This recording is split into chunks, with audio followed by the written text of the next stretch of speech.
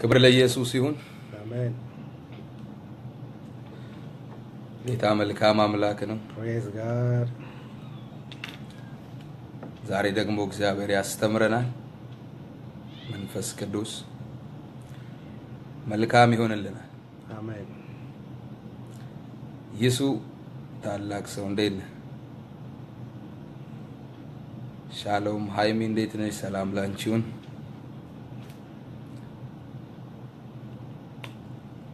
ብዙ አየር ላይ ዛሬ ድንገት ስለማንቆይ ፈጠን ብላችሁ ጓደኞቻችሁን ጋብዟቸውና ተምረን በጊዜ እንወጣለን። ዘላለም እንዴት ነህ? ነፂ ሰላም ብለናል።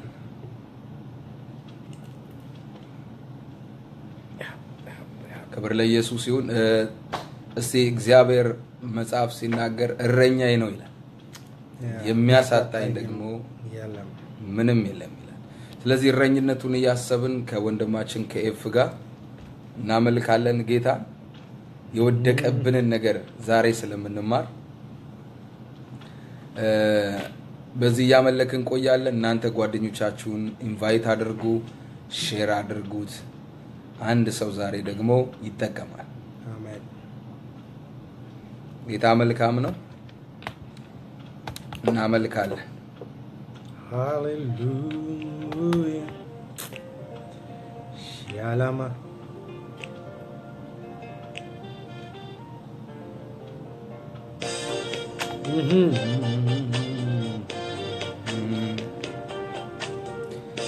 ሂሩት ዮሴፍ ሰላም ለእናንተ ይሁን። ፀሐዬ ታላቅ ሴት ወንጌላዊ ፀሐይ ሰላምሽ ይብዛ።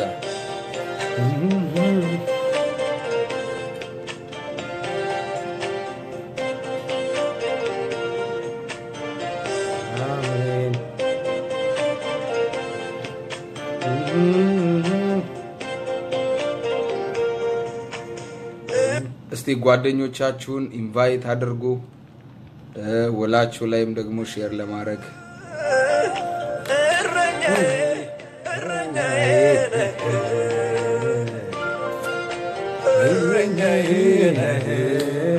እረኛችሁን እያሰባችሁ እረኛችሁ እያለ በሕይወታችሁ አንዳች ነገር አይሆን።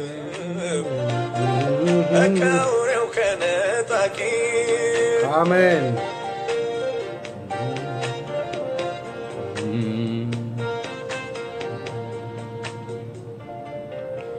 የዳዊት እውነቱን እኮ ነው እረኛዬ ብሎ የዘመረው ከአንበሳ ከድብ ስታደርገው አሜን። ያላንተ ማን አስታዋሻለሁ ገበታ አዘጋጀለት ንግስናን አንተው ስታነግሰው ባይዘምር ይገርመኝ ነበረ። የኔም ታሪክ እንደ ዳዊት አለ አሜን። ሃሌሉያ አባትዬ አባትዬ ነህ አባትዬ ነህ የነፍሴ ጠባቂ ነህ ከአንበሳና ከነጣቂ ከአውሬው ከነጣቂ አሜን።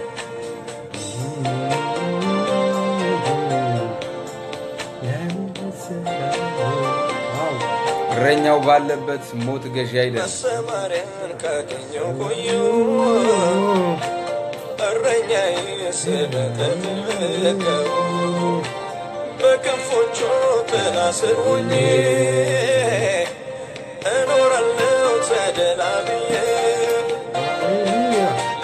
ቢባል እረኛዬ ይዤ? ለምን ቢባል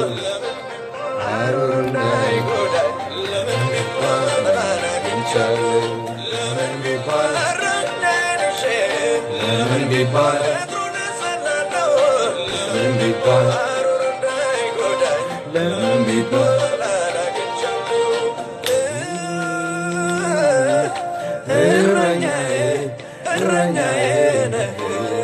እረኛችሁ ሕያው እረኛችሁ በሕይወት እያሉ ክፉ በእናንተ ላይ አንዳች ማድረግ አይችልም። በትዳራችሁ፣ በልጆቻችሁ፣ በሀገራችሁ ባላችሁበት ስፍራ ሃሌሉያ ከአውሬው ከነጣቂ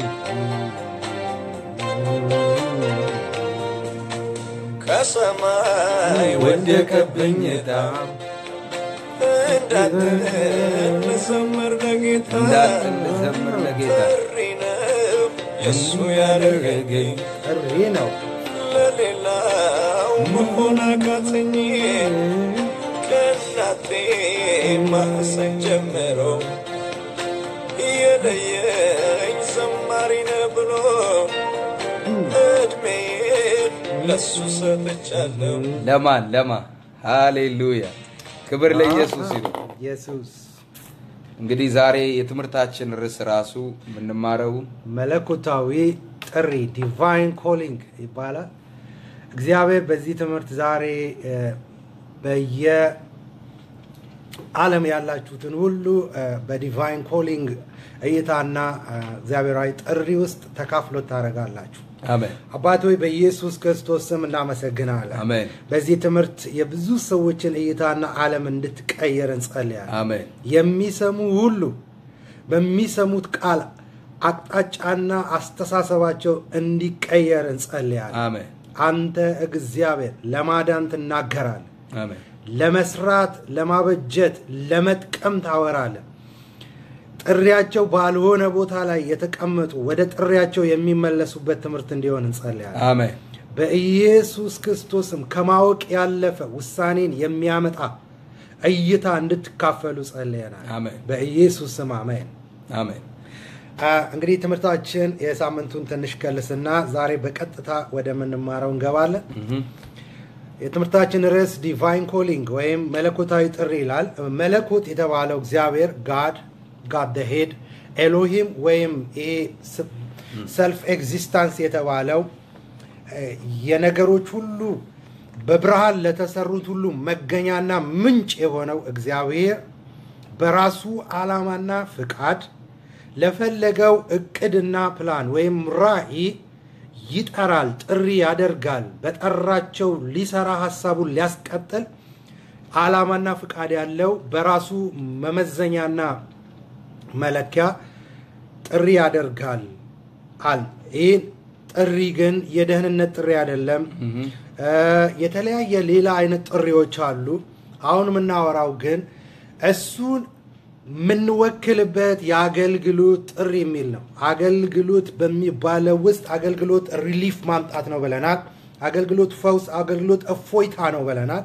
እግዚአብሔር እፎይታውን ለማምጣት በሚፈልግ ጊዜ እኛ ዓለም ላይ ሀሳቡን እንደሱ ፍላጎት እንዲነገርለት የእኛ ዓለም የሆነውን person እና ሰው ፍቃድ፣ ስሜት፣ እውቀት የሰው ቃል ያለውን ሰው ይጠራል፣ በዛ ሰው ይጠቀማል የሚለውን ለማሳየት ጥሪው በራሱ ፍቃድ ይጠራል።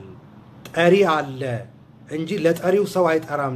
ለጠሪው ሰው አስተዋጽኦ contribution አያደርግም ብለን አየን። ከዛ ሌላኛው እንድታስተውሉ ፈልጋለን። more emphasis ያደረግነው ጠሪው ዓላማ አለው፣ እቅድ አለው፣ ግብ አለው የሚጠራበት ዋና purpose ብለን አካሉ የሆነችውን ቤተ ክርስቲያን እሱ እንዳየውና እንደፈለገው በመጨረሻም የምትነጠቀዋን እውነተኛይቱን ሙሽራ እግዚአብሔራዊ መልክና እግዚአብሔራዊ ውበት እግዚአብሔራዊ shining ያላት ትሆን ዘንድ አካሉን ለመገንባት አንድን ፍጹም ሰው ለማቅረብ በሚሆንና ወደ ሙላቱ ወደ ፍጽምናው ለማድረስ የሚሆንን እቅድና ዓላማ accomplish ለማድረግ ይጠራል ብለን የእግዚአብሔር ጠሪነት የእግዚአብሔር ዓላማና የጥሪው ዋና ግብ የሚለውን እነዚህን አይተናል።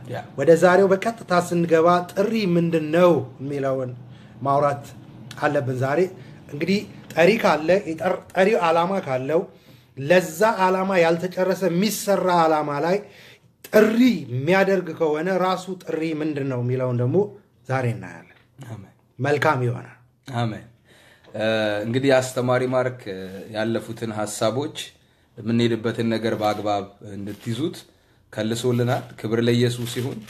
እንግዲህ ዛሬ ትኩረት አድርገን የምናየው ጥሪ ምንድን ነው የሚለውን ነው።. መቼም ስለ ጥሪ ሲነሳ ብዙ አይነት ጥሪዎች አሉ። በመጽሐፍ ቅዱስ ራሱ የተቀመጡ ሶስት አይነት ጥሪዎች እንዳሉ አሳይተናችሁ ነበር። የመጀመሪያው የደህንነት ወይንም የልጅነት ጥሪ ነው። ሁለተኛው ደግሞ የአገልግሎት ጸጋ ጥሪ ነው። ሶስተኛ ደግሞ በትውልድ መካከል መልእክተኛ ተኮኖ የሚጠራበት ጥሪ ነው። እነዚህ ሶስት ጥሪዎች አሉ። እኛ ግን የትኩረት አቅጣጫችን በዚህ የትምህርት ሀሳብ ላይ የአገልግሎት ጥሪ የሚለውን ነው። ከአገልግሎት ጸጋ ጥሪ ጋር ተያይዞ እግዚአብሔር ይጠራል ወይ? አዎ ይጠራል። Yes. በዚህ ሀሳብ ላይ መጽሐፍ ምን ይላል? ጥሪስ ምንድን ነው? okay መጽሐፍ የሚለውን ከማየታችን በፊት ጥሪ የሚለውን እንተርጉም። ሁልጊዜም የምንተረጉምበት ምክንያት ትርጉሙ የእግዚአብሔር አይነት ካልሆነ ስለ ጥሪ ያለን በሌላ መንገድ ሄደን መጨረሻ ላይ የሚፈለገው ውጤት ላይ ስለማንደርስ ነው።. ስለዚህ አሁን ጥሪ የሚለውን ሀሳብ ምንድን ነው የሚለው ጥሪ ማለት ከእኛ አቅምና ብቃት ውጪ ለሆነ ለፍቃዱ ሀሳብ ብቁ ታማኝ ተደርጎ መቆጠር ነው።. ያ ነው ጥሪ ማለት። አንድ ሰው ከራሱ አቅም አይጀምርም። እግዚአብሔር ላለው ዓላማና ፕሮግራም ከሱ ከሆነ ችሎታ አይጀምርም። በሱ በሆነ በማ በአምላክ በሚሆን ችሎታ፣ በአምላክ በሚሆነው አቅም፣ በአምላክ በሚሆነው ኃይል ለሚፈለገው ዓላማ እግዚአብሔር ያንን ሰው መቅደሱ፣ በሩ፣ ማለፊያው፣ ሀሳቡን ማድረጊያ አድርጎ ሲወስደው፣ ሲለየው፣ ሲቀድሰው ማለት ነው።. መጽሐፍም ይህንን በተለያየ ስፍራ ይነግረናል። ጳውሎስ ለምሳሌ ብዙ አይነት ድካሞችን ብዙ አይነት መንገዶችን በተቀበለው ጥሪና አገልግሎት ሄዷል። ድካሙን ግን ሲያወራ ስለ ራሱ ሳይሆን ጸጋው በእኔ ይደክማል ይላል።. ስለዚህ ጥሪ የምንለው ለእርሱ ለሚሆነው ሀሳብ ከእኛ አቅምና ብቃት ውጪ ለሆነ ለሱ ፍቃድ፣ ለሱ ኃይል፣ ለሱ ጥበብ፣ ለሱ እውቀት፣ ለሱ አደራረግ፣ ለሱ መለኮታዊ አጀንዳና እቅድ ብቁ ተደርጎ መወሰድ ማለት. መለየት መቀደስ ማለት ነው።. እንግዲህ ይህንን ሀሳብ በጥቅስ እያየነው እንሄዳለን። ሌሎችም ሀሳቦች አሉት። አንድ ላይ ከአስተማሪ ማርክ ጋር እየተቀባበል እናየዋለን። እስቲ መጽሐፍ ቅዱሳችሁን ሮሜ ምዕራፍ 15 ከቁጥር 15 እስከ 20 አውጡና አብረን እንመለከታለን። ሮሜ 15 ከ15 እስከ 20 ክብር ለጌታ ይሁን። እንዲህ ይላል፣ ነገር ግን አሕዛብ በመንፈስ ቅዱስ ተቀድሰው የተወደደ መሥዋዕት ሊሆኑ ለእግዚአብሔር ወንጌል እንደ ካህን እያገለገልኩ ለአሕዛብ የክርስቶስ ኢየሱስ አገልጋይ እሆን ዘንድ ከእግዚአብሔር በተሰጠኝ ጸጋ ምክንያት ተመልሼ ላሳስባችሁ ብዬ በአንዳንድ ቦታ በድፍረት ጻፍኩላችሁ። አንዴ እዚህ ጋር ይይዝልናል ማርክ። ምንድነው እዚህ ጋር 15 እና 16 መሀል ላይ የሚናገረው? የክርስቶስ ኢየሱስ አገልጋይ እሆን ዘንድ ከእግዚአብሔር በተሰጠኝ ጸጋ። የትምህርታችን ሀሳብ የጸጋ ጥሪ ነው። የጸጋ ጥሪ የምንለው ከእርሱ ከሚሆን የሚጀምር ነው። ለምሳሌ ሐዋርያነት በመጽሐፍ ቅዱስ ወደ አራት አይነት ደረጃ ያላቸው ሐዋርያቶች አሉ። አሁን ሐዋርያ ተብለው የሚጠሩት ግን በጸጋ office ውስጥ ያሉት ናቸው። ስለዚህ በጸጋ office ውስጥ ያሉት እነዚህ ሐዋርያት የተቀበሉት ምንድን ነው ሲባል ጸጋ ነው። ጸጋ ብለን ስንል የእሱን ብቃት፣ የእሱን አቅም፣ የእሱን ችሎታ፣ የእሱ የሆነውን ምንድን ነው ማለት ነው ሐሳብ ለማስፈጸም የሚያስችላቸውን አቅም ነው ማለት ነው። ስለዚህ እዚህ ጋር ጳውሎስ አለ? የክርስቶስ ኢየሱስ አገልጋይ እሆን ዘንድ ሌላ ቦታ እንደ እግዚአብሔር አገልጋዮች ይላል። አያችሁ፣ አገልጋይነቱ የክርስቶስ ነው። የስሜቱ አይደለም፣ የምኞቱ አይደለም፣ የሐሳቡ አይደለም። በተጠራንባቸው የአገልግሎት ጥሪዎች ለምሳሌ እግዚአብሔር በፓስተርነት ጠርቶ ጠርቶች ሊሆን ይችላል። በወንጌላዊነት ጠርቶ ጠርቶች ሊሆን ይችላል። በአስተማሪነት ጠርቶ ሊሆን ይችላል። በሐዋርያነት ጠርቶ ሊሆን ይችላል። በነብይነት፣ በዝማሬው አገልግሎት፣ በማስተዳደር በተለያየ ልዩ ልዩ ብለን በሳምንት የተወሰነ ጠቅሰናል። በነዛ ክፍል ውስጥ ተጠርተን ሊሆን ይችላል። በተጠራንባቸው በነዛ ጥሪዎች ውስጥ የምናገለግለው ስሜታችንን ወይንም የሰውን ስሜት አይደለም። የእኛን ስሜት ወይ የሰውን ስሜት አይደለም። የምናገለግለው የክርስቶስ አገልጋይ ሆነን ነው። ጳውሎስ እንደውም ምንድን ነው የሚለው አንደኛ ቆሮንቶስ ምዕራፍ አራት እ፣ ምንድን ነው የሚናገረው? ቁጥር አንድ ላይ ሰዎች እኛን እንደ እግዚአብሔር አገልጋዮች እና እንደ ሎሌዎች ክርስቶስ ሎሌዎችና እንደ እግዚአብሔር ምስጢር መጋቢዎች ሊቆጥረን ይገባል። ያውም ይገባል ነው የሚለው ጳውሎስ ተሰሎንቄ ምዕራፍ አንድ ላይም ሲነግራቸው ቃሌን እንደ መልአክ ቃል ወይም እንደ ሰው ቃል ሳይሆን እንደ እግዚአብሔር ቃል አድርጋችሁ ተቀብላችኋልና መልካም አረጋችሁ ብሎ ይነግራቸዋል። ጳውሎስ የተቀበልኩት አለና ጸጋ የማን አገልጋይ እንደሆነ አደረገኝ የእግዚአብሔር ወይ የክርስቶስ አገልጋይ እንዲሆን አደረገኝ እንጂ የሰው ስሜት አገልጋይ፣ የሁኔታ አገልጋይ የሆነ ነገር ሲነሳ ብድግ ብዬ እንድል አይደለም። ፍቃዱን ማዕከል አድርግዬ አድርጌ የእሱ የሆነውን ሀሳብ እንዳስፈጽም ብቁ ተደርጌ ተወስጃለሁ፣ ተለይቻለሁ። የሚያልፍብኝ በጸጋው በጸጋው ነው። ቀጥ ያለውን ሀሳብ እስቲ እንመልከት። የሚገርም ነው። እዚህ ጋር አሕዛብ ይቀደሱ ዘንድ ይላል። አሕዛብ ከቅድስና ውጪ ነበሩ። እኔ የክርስቶስ አገልጋይ ሲያደርገኝ አሕዛብ በዚህ ምክንያት ወደ ተፈለገው መለየት ወደ ተፈለገው ቅድስና እንዲደርሱ እኔ የክርስቶስ አገልጋይ ነኝ ነው የሚለው። የሚገርም ነው። እንቀጥል። ቁጥር 17 እንግዲህ ከእግዚአብሔር ዘንድ በሚሆን ነገር ማንኛውም ነገር የሚሆነው ኬት ነው ማለት ነው? ከእግዚአብሔር ነው። ሰው ለእናንተ የሚሰጣችሁ የሚባል ጸጋ የለም። እንግዲህ ከእግዚአብሔር ዘንድ በሚሆን ነገር በክርስቶስ ኢየሱስ ትምክት አለኝ። በጣም አሜዚንግ ወርድ ደግማ አንብብላቸው አስተማሪ ነው። እንግዲህ ከእግዚአብሔር ዘንድ በሚሆን ነገር በክርስቶስ ኢየሱስ ትምክት አለኝ። ትምክት ብሎ ቢያነሳ ጳውሎስ ብዙ የሆነ ትምክት አለ። ብዙ የሚዘረዘራቸው ከዚህ በፊትም እንደው አንዳንዶቹን ለማሳፈር ብሎ ገልጦት ነበር። ቢያስፈልግ ብሎ ማለት ነው። እዚህ ጋር ምን እንደሚያወራ ሰማችሁት? እንግዲህ ከእግዚአብሔር ዘንድ በሚሆን ነገር የሆነብኝ ነገር የመጣብኝ ነገር የገባብኝ ነገር የተወሰድኩበት መወሰድ ከእግዚአብሔር የሆነ ነው። ከሰው በሚሆን ነገር አይደለም የተወሰድኩት። አንዳንዱ ይገርመኛል። አንዳንድ ሰው ያይና እሱም ያምረዋል ያንን ነገር መሆን ማለት ነው። እውነቴን ነው የማወራው። ምግብ ላይ ቢያምረን እሺ ያው ገዝተን እንበላው ይሆናል። ግን ይህ ጸጋ አገልግሎት ላይ ካልተሰጠን ለዛ ነገር ካልተወሰድን ለዛ ለሚሆን ነገር ብቁ አድርጎ እሱ ካለየን የምንሆነው ነገር አይደለም። ዊሽ አድርገን ይሄን ሆናለሁ የምንለው ጉዳይ አይደለም፣ የምንደረገው ነው። በጸጋው ሐዋርያ ተደረግኩ፣ በጸጋው እንደዚህ ተደረግኩ፣ በጸጋው እንዲህ ተደረግ መጋቢ እያለ ነው ተደረግኩ። መጽሐፍ የሚናገረው። ለምሳሌ በጸጋው ምን ያደርግሻል ሲባል ወንጌላዊ ያደርግሻል። በቃ ወንጌላዊ ያደረገሽ ግን ነቢይ ያላደረገሽ ጌታ አድራጊ ነዋ። ጥሪ የምትደረጉበት፣ የምትለዩበት፣ የምትወሰዱበት፣ የምትቀደሱበት ነገር ነው ለእሱ ሀሳብ። ስለዚህ እዚህ ጋር ከእግዚአብሔር በሚሆን አሜን ከእግዚአብሔር ዘንድ በሚሆን ነገር በክርስቶስ ኢየሱስ ትምክታ ትምክቴ ራሱ ከእሱ ስለሆነ ትምክት አለ ስለው አላፍርም። አንዳንድ ሰው ራሱ እኮ ፕሮፌሰር ነኝ ሲል አያፍርም bold ሆኖ ነው የሚያወራው። ስለሚኖርበት ሀገር ራሱ ሲያወራ. bold ሆኖ ነው የሚያወራው። እንደሆነበት ተረ- ተረጋግጦለታል። yeah praise God ቀጥዬ ላንብበው እንዲህ ይላል፣ ትምክት አለኝ አሕዛብ እንዲታዘዙ ስሙት። ይሄ ትምክትና ጸጋ አለ። አሕዛብ እንዲታዘዙ ክርስቶስ በቃልና በስራ በምልክትና በድንቅ ነገር በቃል በስራ በምልክትና በድንቅ ነገር ኃይልንም በመንፈስ ቅዱስ ኃይል በእኔ አድርጎ ከሰራው በቀር ምንም ልናገር አልደፍርም ይላል። የሚገርም ነው አስተማሪ ማለት ድንቅ ተገልጦበታል ሰውዬ። ድንቁ ግን ማን ነው የገለጠው? በእኔ አድርጎ ጥበብ ተገልጦበታል፣ ኃይል ተገልጦበታል። ቃል ተገልጦበታል። ድንቅ ስራ ተገልጦ እንግዲህ አስቡ፣ እነዚህ ሁሉ ተገልጦበት ሰውየው እኔ ብሎ ቦስታ አያደርግም። በፍጹም። ወይንም ሰው ነፍስ ላይ የሆነ ነገር አይፈጥርም፣ ጨበራ አይፈጥርም። በመንፈስ ቅዱስ ኃይል ተደርጎብኝ በቃ ይሄ ነገር በመንፈስ ቅዱስ በሚሆን ነው ያደረገ እሱ ነው ያደረገብኝ፣ ከኔ አልጀመረም። አፌ በጽድቅ ቢከፈት ለእናንተ።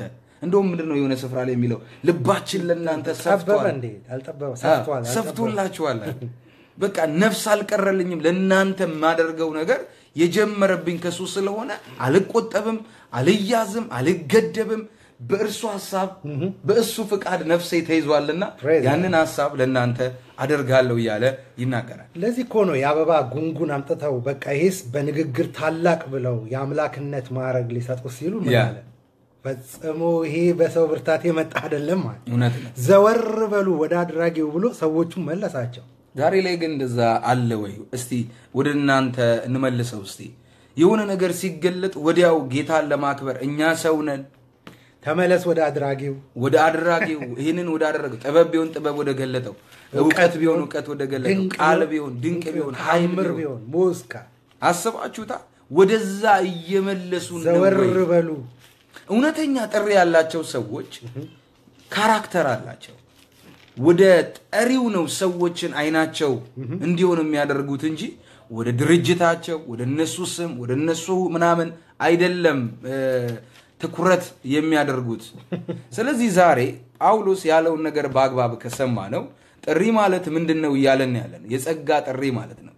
የጸጋ ጥሪ ከኛ አቅምና ብቃት ውጭ ለሆነ ለፍቃዱ ወይንም ለሐሳቡ ብቁ ታማኝ ተደርጎ መቆጠር፣ መወሰድ፣ መለየት፣ መቀደስ ነው። ያ ሰው እንግዲህ የተቀበለው የወሰደው ኃላፊነት አለ ማለት ነው። በሌላ እስቲ ልጨርሰው ስለዚህ ይላል ይህንን ሁሉ ካለ በኋላ ልናገር አላፍርም ካለ በኋላ ስለዚህ ከኢየሩሳሌም ጀምሬ እስከ ኤልዋሪቆ ድረስ እየዞርኩ የክርስቶስን ወንጌል ፈጽሜ ሰብኬአለሁ ይላል። ኢየሩሳሌም አካባቢ ላይ አልቆምኩም። እስከ ሩቅ ምስራቅ አገሮች ሄጄ እስከ ኤልዋሪቆ ሄጄ ይህን የክርስቶስን ወንጌል ለአሕዛብ እንዲቀደሱ አውርቻለሁ። ይህ ደግሞ እሱ በሰጠኝ ጸጋና ኃይል ነው፣ በእኔ አድሮ ነው። ምንም እኔ ትምክት የሌለኝ ሰው ነኝ እያለ ይናገራል። እንግዲህ በሰውየው ነገር እስከ ተፈለገው ጥግ ድረስ እንዲሄድ መልእክተኛ አድርጎ አፍ አድርጎ የምስራቹን አውሪና የአሕዛብን አስተሳሰብ የሚቀይርበትን ድምፅና ኃይል አድርጎበት ለዚህ purpose ነው የጠራው። ታስታውሳላችሁ ገና ሲጀምር እንዲህ ያለው አንተ ጳውሎስ አለው በሲላስ በኩል ሲነግረው ለአሕዛብ፣ ለነገስታት፣ ለእስራኤል ስሜን ይዘህ ትሄዳለህ አለው። እንደተባለው ነገስታትን ነክቷል ሰውየው። ታላላቅ ነገስታቶች ፊት ቆሞ በድፍረት ተናግሯል። እንደተባለው በእስራኤላውያን ፊት እንደ ቡልዓት ድንጋይ በሆኑት ፊት ሄዶ የኢየሱስ ክርስቶስን ድንቅና ታምራትና የስም ኃይል በኢየሩሳሌም በአደባባይ ሰብኳል። አሕዛብ ደግሞ እስከ ኤልዋሪቆ መስማት ስላለባቸው የኢየሱስ ስም ባልተጠራበት ቦታ ሄጄ ይላል. ተናገርኩ፣ ሰበኩ። ያለዚህ የምስራች እንዳይፈረድባቸው ይህንን የምስራች ሄጄ አውርቻለሁ። ግን የሆነው ይሄ ሁሉ ይላል በእኔ አድሮ ካረገው ነገር ምንም እኔ ትምክት የለኝም። ማነሳው እንኳን የለኝ። ለዚህ እኮ ነው ጳውሎስ አንደኛ ጢሞቴዎስ ምዕራፍ አንድ. ቁጥር 12 ላይ ሲናገር እንደዚህ አለ፣ ታማኝ አድርጎ ስለቆጠረኝ ኃይል የሰጠኝን እግዚአብሔርን አመሰግናለሁ። እንግዲህ አስቡ፣ ታማኝ አድርጎ ስለቆጠረኝ። አንድ ሰው ታማኝ ተደርጎ የሚቆጠርበት ሰማይ የሚቆጠርበት ሰው አይደለም የሚቆጥራችሁ ሰው ዛሬ የሆነ ነገር ብሎ ሌላ ሊቀይር ስለሆነ ማለት ነው። ለአገልግሎት ጥሪ በተለይ ለጸጋ አገልግሎት ጥሪ እንዲህ ናችሁ ብሎ የሚመሰክረው ምስክርነትንም የሚሰጠው ባለቤቱ ስለዚህ ምንድን ነው ያለው እዚህ ጋር እስቲ እናንብበው ቃል በቃል ለአገልግሎት ሾመኝ። አንደኛ ጢሞቴዎስ አንድ 12 ነው የምናነበው። ታማኝ አድርጎ ስለቆጠረኝ ኃይልን የሰጠኝ ክርስቶስ ኢየሱስ ጌታዬን አመሰግናለሁ ይላል። ከዛ ቀጥሎ ግን ይላል አስቀድሞ ተሳዳቢ፣ አሳዳጅ፣ አንገላች ምንም ብሆን ይህን እንዳደረግኩት ነገር ሳላውቅ ባለማመን ስላደረግኩት ምሕረት አገኘው ይላል። የቀድሞ ማንነቱን ሲያወራ ሌላ ገጽታ ነው ያለኝ አለ። አሁን ግን እግዚአብሔር ከራሱ ጀምሮ ለሱ ሀሳብ እኔም በዚህ ነገር ላይ ኃይል በመስጠት በአንድ አቆጣጠር እኔ ላይ ቀየረ እግዚአብሔር ነው። ለዚህ የተጠ- የምንጠራበት ይህ የአገልግሎት ጥሪ የኛ ያልሆነ ነገር ያለበት ነው። የመጀመሪያ ማንነቱን ሲያወራ ተሳዳቢ፣ አንገላች ይህንን እውነት የምቃወም ሁሉ ነበርኩ። ምንም አይነት የኔ የሆነ ካራክተርም አልነበረም። ለዚህ ነው የሚለው ነገር ግን በእሱ እይታና ሀሳብ በጸጋው ያመነ እግዚአብሔር ለዚህ ነገር ጠርቶ ሾመኝና መንገድ ላይ አወጣኝ ነው የሚለው። ስለዚህ በእሱ የምንደረገውና የምንሆነው እንጂ ከእኛ መጥቶ የእኛን ነገር የሚያጸድቀው አይደለም። ይህ መለኮታዊ ጥሪ እግዚአብሔራዊ ብቃት በሰው የሚገለጥበት ነው። አሜን። እንግዲህ እዚህ ጋር የሚናገረውን ሀሳብ ስትመለከቱ ይህንን ሀሳብ በደንብ እያየ ነው አሁን እንገባለን። እንግዲህ ምንድን ነው ማለት ነው? ታማኝ አድርጎ ስለቆጠረኝ ቀጥሎ ኃይል የሰጠኝ። ኃይል የሚሰጠው ከታማኝነት ተደርጎ ከመቆጠር በኋላ ነው። ቀጥሎ ኃይል የሰጠኝ የሾመኝ። እንግዲህ እዚህ ጋር ሹመትን ካነሳ ሰጠኝ ካለ ይህ ሰው የተቀበለው ኃላፊነት አለ ማለት ነው።. responsibility አለ ማለት ነው።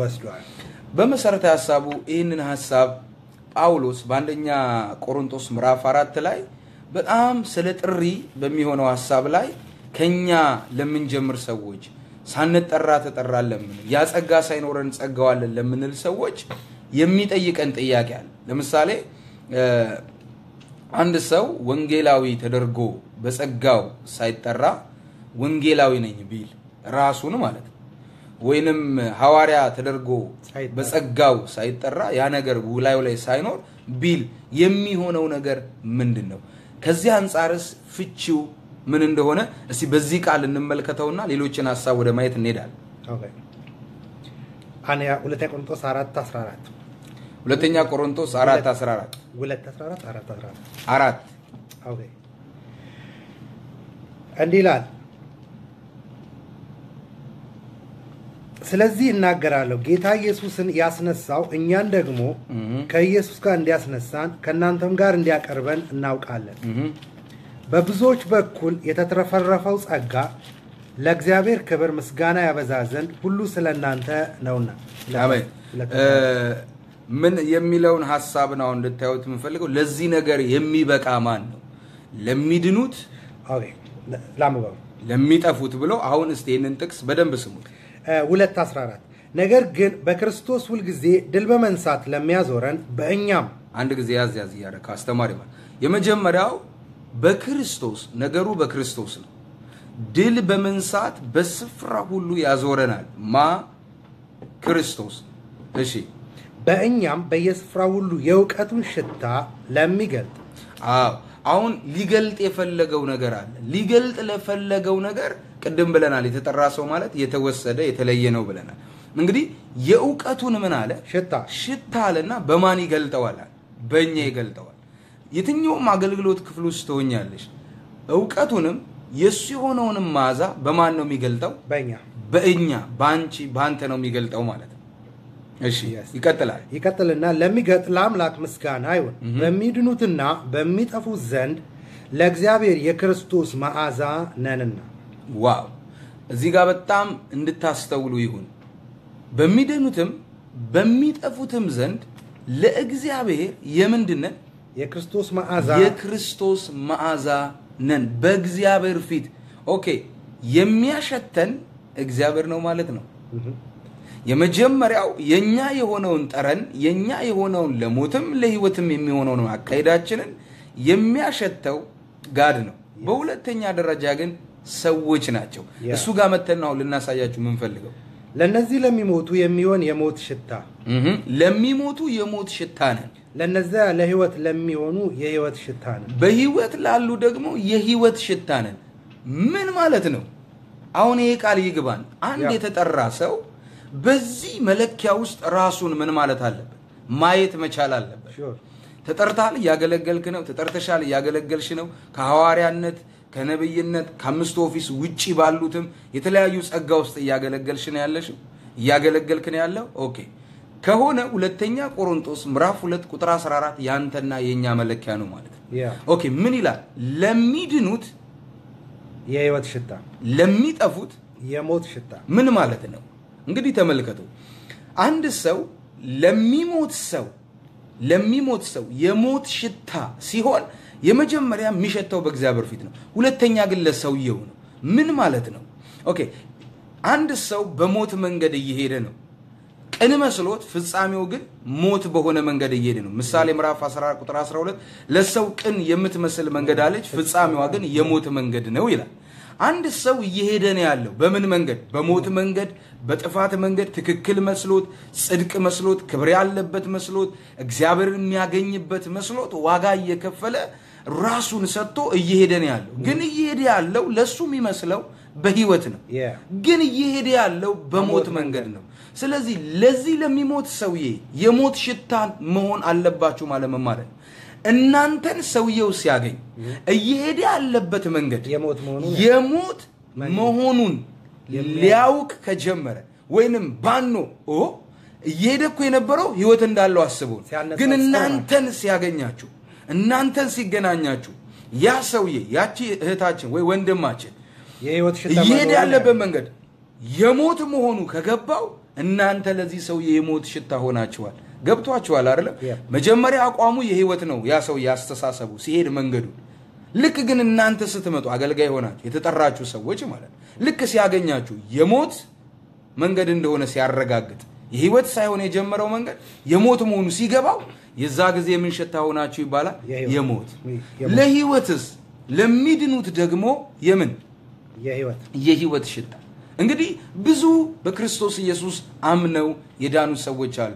ግን በተለያየ አይነት መረዳት በተለያየ አይነት አስተሳሰብ በተለያየ አይነት አመለካከት ያሉ። ያ። ስለዚህ ለነዛ ሰዎች ራሱ ያሉበት የጥበብ የእውቀት ራሳቸውን የመረዳት አቅም ያ ብቻ እንዳልሆነ በክርስቶስ የተጠሩበት የክብር ደረጃ እስከ ዙፋኑ እንደሆነ ሌላ የህይወት አይነት የህይወቱን አይነት መመልከት ሲጀምሩ በእናንተ በእርግጥም ለነዛ ሰዎች የህይወት ሽታ የህይወት ሽታ ሆናችኋል። የሚበዛ የህይወት አይነት ክብር ለኢየሱስ። ስለዚህ የተቀበልነው ኃላፊነት አለ ማለት ነው። ሾመኝ ካለ ጠራኝ ካለ ምን አለ ማለት ነው? ኃላፊነት። ቀጥሎ እንዲህ ላለው ለዚህ ነገር የሚበቃ ማን ነው ይላል። ይሄ ትልቅ ብቃት የሚጠይቅ ነው ነው ለዚህ ነገር የሚበቃ ማን ነው? ይሁ እንግዲህ እሱ የሚሾመውና የሚጠራው የሚቆጥረው ነው። እንግዲህ ለዚህ ነገር የሚበቃው ለሞትም ለህይወትም ሽታ ለእግዚአብሔር የእውቀት ለሰዎችም ውብ። የሚሆን ሰው ምን አይነት ሰው ነው ሲባል ለዚህ ነገር የሚበቃ እንግዲህ ጥሪ ምንድን ነው ሲባል አሁን ላለው ነገር የሚበቃ ሆኖ የተወሰደ ማለት ነው። በሰው ፊት አይደለም ብቁ ናቸው የምትታሰቡ በእግዚአብሔር ፊት ጳውሎስ አሁን በሰው ፊት ብቁ የሚያስብለው ነገር ነበር life ኡ. አካሄዱ አይታችሁት ከሆነ ብዙዎች ቃሉን እንጂ አካ- ማንነቱን እንትን ይሉ ነበር። ድምፁ ቃሉና personality ው አንድ አይደለም ብለው እንደውም ይፈተኑበታል። እንደ አካሉ አይደለም፣ እኛ ከውጭ እንደምናየው አይደለም። ነገር ግን መልእክቶቹ እጅግ ጠንካራና ኃይለኛ ናቸው። ያ ማለት ጥሪው ማለት ነው። ጠንካራ ያደረገው አካሉ አይደለም። አካሉ ከሲታ ነበር። Bible ነው የሚለው። አካሉ እንቅፋት የሆነባቸው ነገር ሁሉ አለ እንዳይቀበሉት ሐዋርያ ነኝ ሲል አንተም ብሎ ሐዋርያ ብለው በቅጥነቱ የለኩት በአንዳንዶች ቅጥነቱ ቁመቱ ምናምን የሚሉ አሉ። ክብር ለኢየሱስ። message ኡ powerful ነው። እንግዲህ ሴትነትሽ አይደለም ጥሪሽ። message ነው። ወንድነትም አይደለም ጥሪ።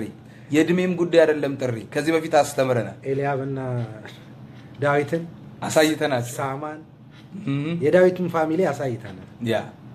ስለዚህ ጥሪ ማዕከል የሚያደርገው የእሱን ሀሳብና ፍቃድ ነው ማለት ነው። እንግዲህ ከዚህ ጋር እያይዘን እስቲ አስተማሪ ማርክ የእሱ ህይወት ለመወከል የተወሰነ የተቆረጠ ሰው ከሆነ የተጠራ ሰው ማለት እስቲ በብሉይ ኪዳንና በአዲስ ኪዳን ከዚህ ከጥሪ አንጻር እግዚአብሔር ምን ማድረግ ነው የፈለገው የሚለውን እናሳያቸው በጣም አሪፍ። እስቲ እሱን ከመንካታችን ልክ ይሄ የብሉይ ኪዳን እግዚአብሔራዊ represent ማድረግ እና አዲስ ኪዳን ላይ እግዚአብሔር represent ማድረግ የሚለውን በአንደኛ ቆሮንቶስ ምዕራፍ በሁለተኛ ቆሮንቶስ ምዕራፍ አምስት ቁጥር 20 ላይ እስቲ እንሂድ።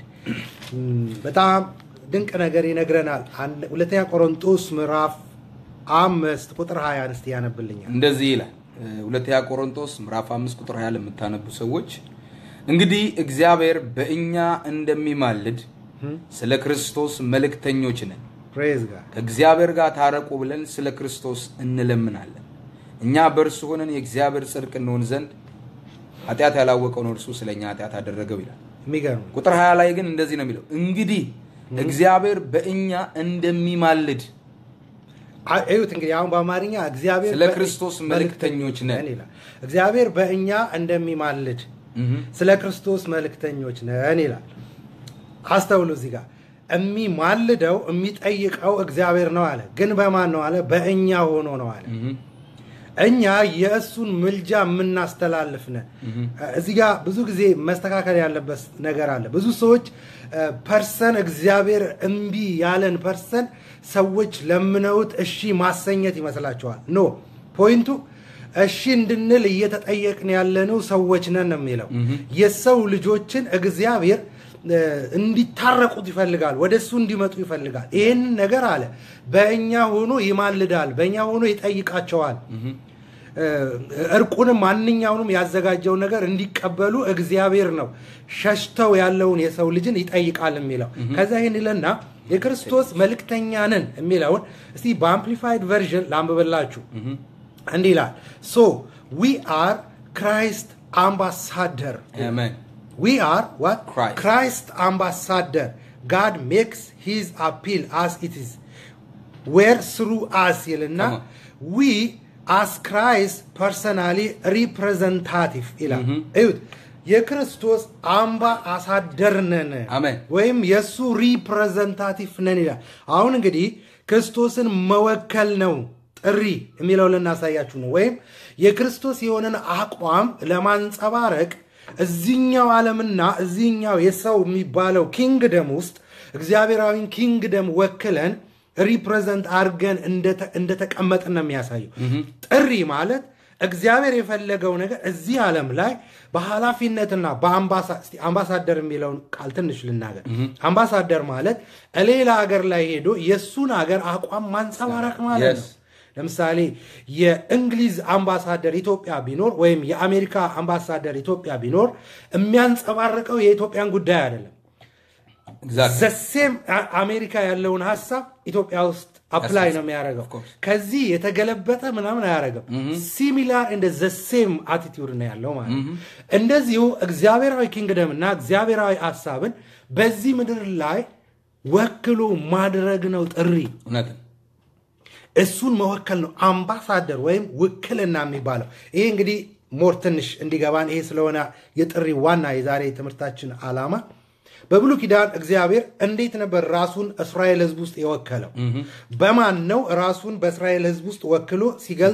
ሲያገለግል፣ ሲጠቅማቸው፣ ሲመራቸው ወደ ታየው የተስፋ ቃል ወደ ታየው የህይወት አይነት እንዲደርሱ ሲረዳቸው የነበረው በምን የውክልና office ነው?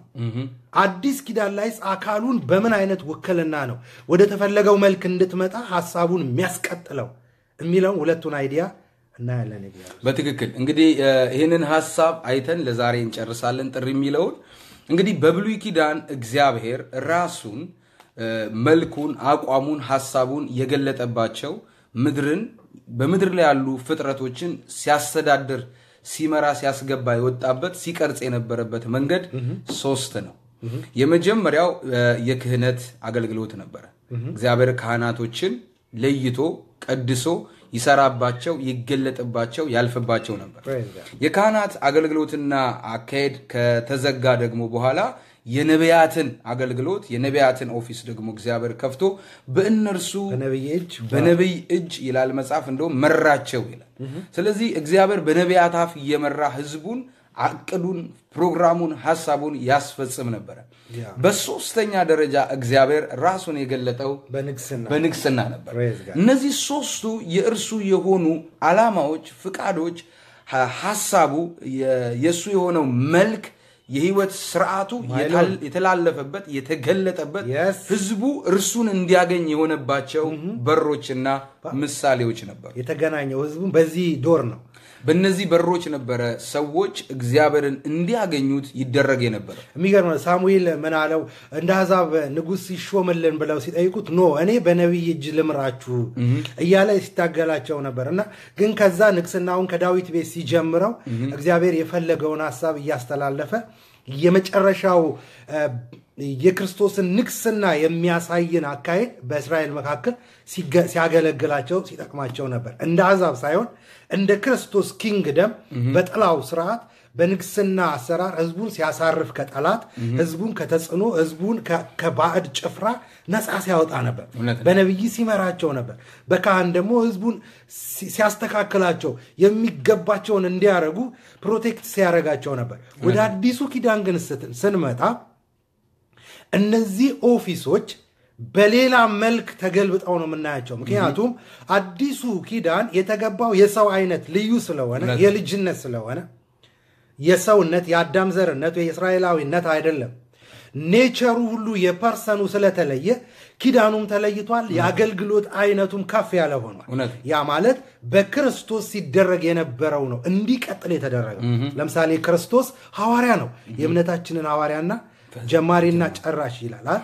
ተመልክተን ስለሚል ሐዋርያዊ ግሬስ ኢየሱስ ገልጦ ነው ያለፈው። ክርስቶስ ወንጌላዊ ነበር። በኃይል ነገሩን የምስራቹን ያወራ ነበር በየከተማው ይላል።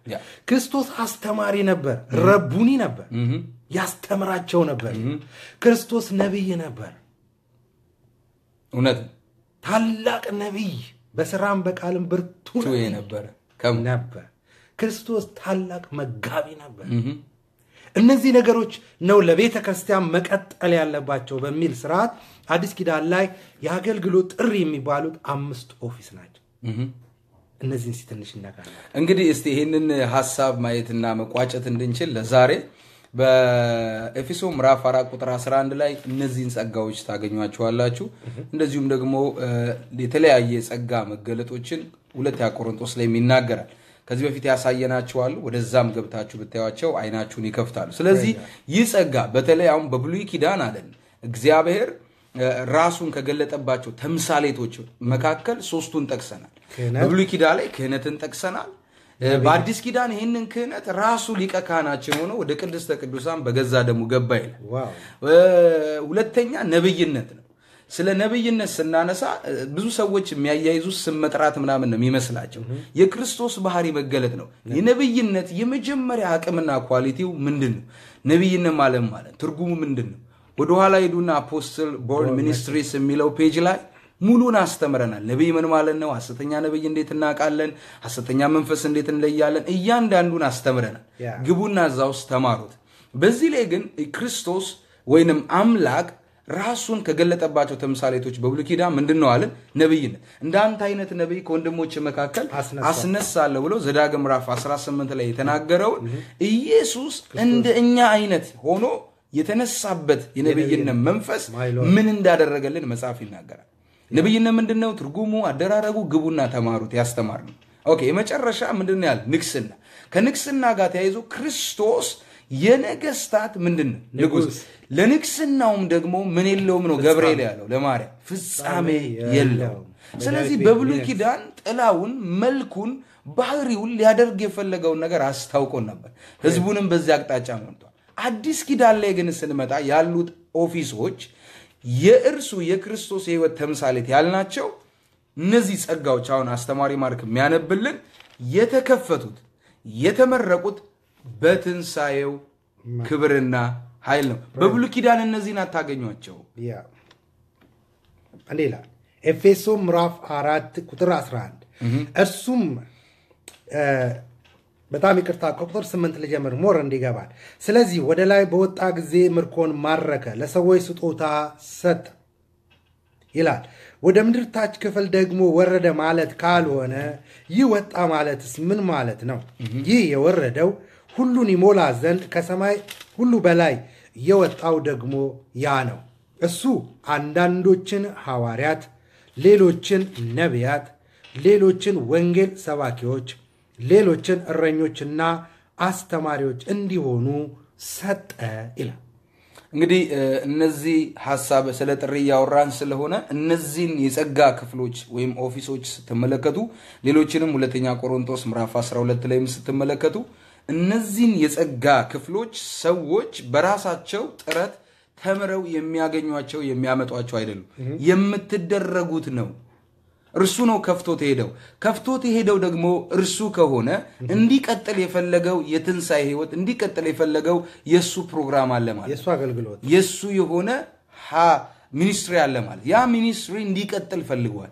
እንዲቀጥል ሲፈልግ ምን አደረገ? እነዚህን ጸጋዎች ሰጠን። ለቤተ ክርስቲያን ሰጠ የሰጠው ደግሞ ለቤተ ክርስቲያን ነው። ስለዚህ በቤተ ክርስቲያን ውስጥ ለምን ተሰጡ እነዚህ ጸጋዎች ሲባል በእንደዚህ አቅጣጫ የተጠሩ ሰዎች ለምን ተሰጡን ሲባል አካሉ ማለት ቤተ ክርስቲያን ሙሉ ወደ መሆን እንድትደርስ ያለ ፊት መጨማለድ፣ ያለ ነውር፣ ያለ ነቀፋ ትሆን ዘንድ በፊቱ ነውር አልባ ሆና ትቆም ዘንድ እነዚህ ጸጋዎች እስከ ክርስቶስ ዳግም መምጣት ድረስ እንደሚሰራ መጽሐፍ ቅዱስ ይናገራል። የኢየሱስ ክርስቶስን መምጣት ስትጠባበቁ አንዳች እንኳን የጸጋ ስጦታ አይጎልባችሁም ይላል። የተሰጡን የጸጋ ስጦታዎች የእርሱ ሕይወት እንዲቀጥል የተደረገባቸው ናቸው። ስለዚህ ዛሬ ወንጌላዊ፣ ዛሬ አስተማሪ፣ ዛሬ ፓስተር፣ ዛሬ ሐዋርያ፣ ዛሬ ነቢይ፣ ዛሬ የተለያዩ office ኦች አሉ። እነዚህ ሁሉ ጸጋዎች በቤተ ክርስቲያን በአካሉ ውስጥ አካሉን ፍጹም አድርገው ለሚመጣው ሙሽራ የሚያዘጋጁ ናቸው ከመንፈስ ቅዱስ ጋር። praise God ምን ይላል? እንደውም እንዲህ ይላል ሁላችን ይላል። ይሄ የእነዚህ ስጦታዎች ዋና purpose ሲናገር ሁላችን የእግዚአብሔርን ልጅን በማመንና በማወቅ ማመንና ማወቅን ወደ የሚገኝ አንድነት ሙሉ ሰው ወደ መሆን የክርስቶስ ሙላት ወደሚሆን ወደ ሙላቱ ልክ እስክንደርስ ድረስ ቅዱሳን አገልግሎትን ለመስራት ለክርስቶስ አካል ሕንፃ ፍጹማን የሆኑ ዘንድ ይላል። ቅዱሳን አገልግሎትን ለመስራት ሙሉ ሰውን ለማምጣት አካሉን ለማነጽ በእምነት በሚሆን ነገር ሰዎችን ወደ እግዚአብሔር ሐሳብ ለማድረስ የሚሆኑ ቅዱሳን አገልግሎት ለመስራት ለአካሉ ይላል ለክርስቶስ አካል የክርስቶስ አካል ቤተክርስቲያን ናት። የክርስቶስ አካል ቤተክርስቲያን ከሆነች እነዚህን ግሬሶች እነዚህን ኦፊሶች የሰጠው ለአካሉ ነው። አካሉ እሱ እንደሚያስበው አይነት ሆና እንድትገኝ እንድትታነጽ እነዚህን አገልግሎቶች ከፈተ ነው ስለዚህ በቤተ ክርስቲያን የነዚህ መኖር አንድን ቤተ ክርስቲያን ታላቅ ያደርጋታል። አንድን ቤተ ክርስቲያን እግዚአብሔር ባየው መልክ እንድትተረጎም ያደርጋታል። በመጽሐፍ ቅዱሳችን ላይ ሐዋርያት ሥራ ምዕራፍ 10 ሶስት ሄዳችሁ ስታነቡ አንጾኪያ የምትባለው church መምህራን፣ ነቢያት፣ ሐዋርያት ነበሩባት ይላል። ስለዚህ እጅግ ሙሉ እንደነበረችና የረሃብ ዘመን የኢየሩሳሌሟ church በጣም በረሃብ ተጎድታ እርዳታ በመስጠት እጅግ አንጾኪያ የምትባለው church ከፍ ያለች ነበር። ምንድን ነው ከፍ ያረጋት? የነበሩት እነዚህ office ኦች ናቸው። የ office ኦቹ መኖር የቤተ ክርስቲያንን መልክ ይቀይራል። የአካሉን ጉልበት ከፍ ያደርጋል። ስለዚህ እግዚአብሔር በክርስቶስ ኢየሱስ ያቀደው አካሉ ላይ እንዲገለጥ የተፈለገው መልክና ሙላት እንዲመጣ እነዚህ office ኦች እንዲሰሩ እግዚአብሔር ጥሪ አድርጓል። ነው። ስለዚህ የነዚህ office ኦች መከፈት ወይም የአገልግሎት ጥሪ ብለን አሁን ልናስተምር የፈለግነው በእነዚህ office ኦች እግዚአብሔር አካሉን ወደ ተፈለገው መልክ ያመጣል ነው። እውነት ይህን አይነት ጥሪ ያለው ሰው የሰው ብቃት አይደለም፣ ተነስተ ስራ ነው። ቤተ ክርስቲያን ለእነዚህ ጥሪዎች በሯን ትክፈት። እነዚህ ጥሪዎች ናቸው ማንነቷን የሚቀይሩት። ያለ እነዚህ ጥሪ ማንም ሰው የተፈለገው መልክና አካል ስለማይመጣ ጥሪ ያላችሁም ተነሱ። ለዚህ ጥሪ በር መክፈት ያለባችሁ መሪዎች እንነግራችኋለን። በሩን ክፈቱ። የመጨረሻው መልክ ይመጣል። አሜን። ክብር ለኢየሱስ እንግዲህ ሰዓታችን አልቋል። ሳምንት በዚሁ ሰዓት እንገናኛለን። 2 PM ላይ ቅዳሜ 2 PM ላይ የእግዚአብሔር ማንነት ምን ይመስላል፣ እግዚአብሔርን ካላወቅን እግዚአብሔር መምሰል አንችልም በሚል የጀመርነው ትምህርት አለ። እሱን እንቀጥላለን። በዚሁ አጋጣሚ ስለ ጥሪ ዛሬ አስተምረናል። አይናችሁ እንደተከፈተ እግዚአብሔር በዚህ ውስጥ እንደጠቀማችሁ እርግጠኞች ነን። አንድ ማሳሰቢያ ግን ሰተናችሁ መሄድ እንፈልጋለን።. ባልተጠራችሁበት ሰማይ እናንተን በማያውቅበት ጉዳይ ላይ ዋጋ አትክፈሉ።. አንዳንዴ ለድርጅታቸው ወይ ላሉበት system ብለው ያልሆናችሁትን ስም የሚሰጧችሁ ሊኖሩ ይችላል። እንደነዚህ አይነት አካሄዶች ድንገት ላሉበት አካሄድና system ብለው ሊሆን ይችላል እነዛ ሰዎች የሚያደርጉት. መንግስታቸውን ለማቆየት ማለት ነው። ግን የእናንተ የዘመን ቁጥር እየተቃጠለ እያለቀ ነው። የተጠራችሁበትን ሳይሆን ያልተጠራችሁበትን ይዛችሁ እየደከማችሁ ነው ያላችሁ። ሰማይ እናንተን የሚያውቃችሁ በጠራችሁ እንጂ ባልጠራችሁ አይደለም።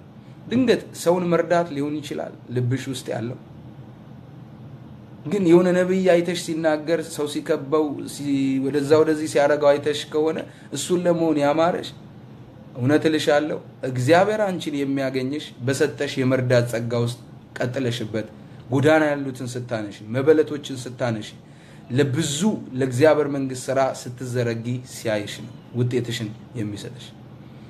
ግን እግዚአብሔር ነብይነት ላይ ወይንም ሐዋርያነት ላይ ውስጥህ ውስጥሽ ጥሪ ኖሮ ግን እየሮጥክ ያለው ነጋዴ ሆነ ከሆነ እውነቴን ነው የምልህ አንተ ሰው በዘመንህ ሁሉ ምስኪን ከሚባሉ ተርታ የመጀመሪያው ትሆናለህ። ስለዚህ አንሰራም አይደለም፣ አንነግድም አይደለም። ጥሪያችንን ግን በሌላ አንለውጠውም፣ በሌላ አንሸቅጠውም፣ በሌላ አንቀይረውም። ያልሆነውን ሆነን የምንሮጠው ሩጫ በእርሱ ዘንድ ዋጋ ቢስ ያደርጋል። ስለዚህ የሆናችሁትን ተቀበሉ። ያደረጋችሁ ጌታ ተደረገ ነው የሚለው። አደረገ፣ ሐዋርያ አደረገ፣ ነቢይ አደረገ። እንዴ ሰው የሚያደርጋችሁ አይደለም፣ እመኑ። መጽሐፍ የሚለው እሱን ነው። ማንም እናንተን እንዲህ ናችሁ ብሎ ማድረግ አይችልም። የጸጋው ባለቤት የዓላማው የራዩ የጸጋው እውነትና ምንጭ የሆነው ጌታ ነው እናንተ የሚለይ. እንዴት ተጠርቻለሁ? ግን እንዴት አውቃለሁ? ተጠርቻለሁ አሁን እኔ? አዎ። ታዲያ እንዴት አውቃለሁ? በሚቀጥለው እንማራለን።. እንዴት እንደተጠራህ እንደተጠራሽ ማወቅ ትችላለች። ዛሬ ስለ ጥሪ አውጥተናል አውርተናል። በሚቀጥለው እንግዲህ ከአስተማሪ ማርክ ጋር ሆነን የተጠራውበትን ጥሪ እንዴት ማወቅ እችላለሁ? okay ነቢይ ተደርጌ ተጠርቻለሁ፣ ሐዋርያ ተደርጌ፣ አስተማሪ ተደርጌ፣ ዘማሪ፣ አስተዳደር ሆኜ የተለያየ ጸጋ ስጦታዎች አሉ። በጣም ብዙ በመጽሐፍ ቅዱስ ውስጥ አካሉን የሚያንጹ ጸሎት ጉበኛ ሊሆን ይችላል፣ usher ሊሆን ይችላል፣ ዲያቆን ማለት ነው። ሽማግሌ የሆነ ተጠርተ ሊሆን ይችላል። elder ማለት ነው። ግን እንዴት ታውቃለህ እንደዛ ሆነ መጠራትህ? ለመጠራትህ እንድታውቅ የሚረዱን ሶስት ሚስጥሮች የዛሬ ሳምንት ከአስተማሪ ማርክ ጋር እናስተምራለን።. የዛሬውን ጨርሰናል። Apostle Born Ministries የሚል page አለ። እሱ like በማድረግ ፌስቡክ ተጠቃሚ ሆናችሁ እዚያ ያለውን ትምህርት ተገልገሉ። እንደዚሁ ደግሞ አይ ፌስቡክ አንጠቀምም እኛ የምንጠቀመው YouTube ነው ለምትሉ የ YouTube channel ስሙ Apostle Born የሚል እዛ ላይ የተለቀቁ ትምህርቶች አሉ። ከእህታችን ወንጌላዊ ፀሐይ ጋር የተለያዩ ትምህርቶች ለቀናል። አሁንም ቀጣይ ብዙ ፕሮግራሞች አሉን ከእሷ ጋም እንደዚሁ ደግሞ በዚህ በእኛ page ላይ የሚያስተማር ነው እዛ ላይ ታገኙታላችሁ። ተጠቀሙ፣ share አርጉ፣ like አርጉ። ድንገት personal page ላይ ገብታችሁ friend request የላካችሁ ቁጥሩ አምስት ሺህ በላይ ስለሆነ ልቀበላችሁ አልቻልኩም። በዛ ምክንያት ነው sorry። ስለዚህ እናንተ follow ማድረግ ትችላላችሁ፣ የሚለቀቀው ሁሉ ይደርሳችኋል። በተለይ YouTube ኡን Apostle Born የሚለውን subscribe አድርጋችሁ የደውል ምልክቷን ብትነኩ ሁል ጊዜ የሚለቀቀው ነገር ወዲያው እናንተ ጋር የሚገባ ይሆናል. ስለዚህ subscribe አድርጉ። የመጨረሻውን ጸሎት ከአስተማሪ ማርክ ጋር እንጸልይና የ church ኣችን ፕሮግራም ነግሮን እንለያያለን። አሜን። አባቴ እናመሰግናለን። በጠራህን ጥሪ ፍሬያማ እንሆን ዘንድ አይናችን ስለተከፈተ አሜን። በኢየሱስ ክርስቶስ ስም ለአካሉ ያየኸውን ያንን መልክና ያንን ቅዱስ አገልግሎት የምትፈጽምበት ይህን office በህዝብ በአገራችን እንድታጎላው ጸልያ አሜን። በኢየሱስ ክርስቶስ ስም ይህም ጥሪ ያላቸው ካሉበት የሚቀሰቅሳቸው የመንፈስ ቅዱስ ድምፅና ጸጋ እንዲጨመርላቸው ጸልየን አሜን በኢየሱስ ክርስቶስ ስም ብለን ሁሉን ጸለይን። አሜን አሜን። እንግዲህ የእሁድ እሁድ ሁሌ አገልግሎት አለን እዚህ አሜሪካ ቨርጂኒያ thirty nine hundred King Street በሚኖረን ከ11 ሰዓት PM እስከ ten thirty PM በሚኖረው አገልግሎት መጥታችሁ ተካፈሉ። እግዚአብሔር ታላላቅ ምክሮችን መካፈልን ድንቅን በመካከላችን እያደረገ ነው። ኑና ተካፈሉ። ለምታውቋቸው ሰዎች address ስጡ፣ ላኳቸው። እግዚአብሔርን ይሞሉታል። አሜን አሜን። ክብር ለኢየሱስ ይሁን። የዛሬውን ጨርሰናል። ብሩክ ናቸው። ፕሬዝ ጋድ